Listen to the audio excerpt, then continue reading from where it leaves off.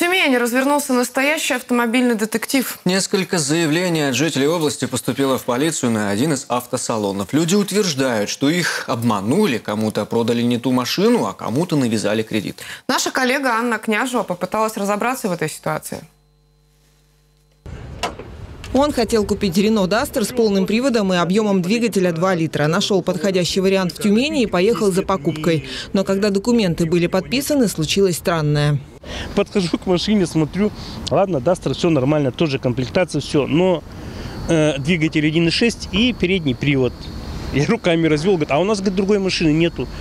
Ни сервисные книжки на нее, ничего не дали. Говорит, мы тебе потом 2 ТО сделаем бесплатно. Все, все раз э, дверки захлопнули, ушли в салон. В итоге Евгений Шмаков уехал домой на той машине, которую ему предложили. Оксана Ломакина тоже осталась недовольна покупкой. Она обратилась в тот же салон, чтобы сдать свой Hyundai Getz и купить новый автомобиль. Ее машину оценили в 265 тысяч рублей и предложили оформить кредит. В салоне она провела весь день, документы подписывала в спешке. И только дома, внимательно прочитав документы, поняла, что кредит оформили не под 8% годовых, а под 18,9%. А стоимость новой машины составила 500 с лишним тысяч рублей. Это на 100 тысяч дороже, чем Оксана рассчитывала. 1.6 автомат, комплектация комфорт аудио 645 тысяч рублей.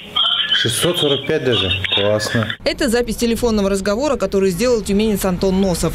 Он забронировал в автосалоне машину, а когда пришел оформить покупку, выяснилось, что такого автомобиля здесь нет. Банальная схема для иногородних, которых они приезжают, ну, там часов 5-6 находятся и уже покупают все, что им дают по люб... под любые проценты, по любой уже стоимости. Почему к автосалону так много претензий, мы спросили у самих продавцов. Они съехали, сейчас новая организация здесь. Получается, что вы оставили название салона прежним, а юридическое лицо... Но это не мы, мы переехали, сняли здесь, грубо говоря, э, помещение, вот, пожалуйста. Однако в договоре между ООО АТЦ Групп с Оксаной Ломакиной стоит подпись руководителя, и он же значится как соучредитель ООО «Кредит Инвест», которая теперь базируется в здании автосалона. Юрист Александр Воронов уверен, расторгнуть договор с автосалоном можно, однако займет это не один месяц. Никогда никаких никому задатков, никаких там бронирования автомобиля, аванс, задаток никогда никому не давать. Есть деньги, покупаем. Нет денег, нет автомобиля, сделка не должна состояться.